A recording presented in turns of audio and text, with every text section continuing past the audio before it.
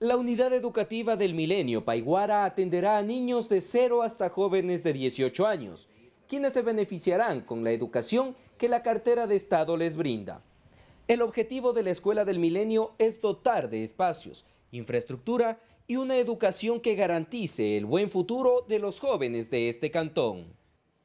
Así lo indica Wilson González, director y profesor de la Escuela Vicente Peña Reyes. Esto es lo que persigue el gobierno, tener mejor educación eh, con avances para los estudiantes que dispongan de las áreas eh, que nunca han tenido.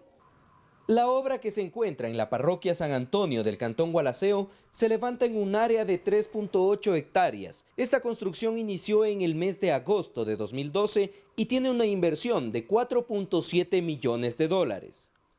Por su parte, el rector de la Unidad Educativa del Milenio, Eugenio Orellana, nos da a conocer los beneficios de esta entidad en el Cantón Gualaceo.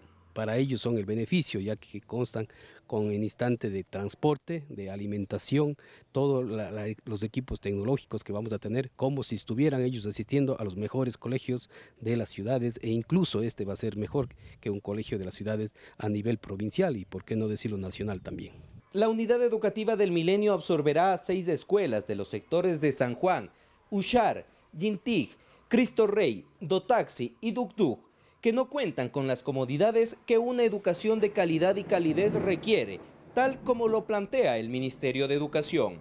Esto se ha dado por la idea que quiere desechar el presidente de la República, Rafael Correa, eliminar varias escuelas pequeñas con pocos estudiantes. Por tal motivo, los alumnos sienten alegría y satisfacción, tal como lo cuenta Luis Pugo, quien va a asistir a la unidad del milenio. Feliz porque aquí va a haber más comodidad y van a tener más acceso a lo que las otras escuelas no, no podemos tener, como salas de computación, bibliotecas, etc. De esta manera, el gobierno nacional trabaja para satisfacer a los grupos más necesitados, dotando de educación que es el elemento que forma parte del cambio de la matriz productiva del país.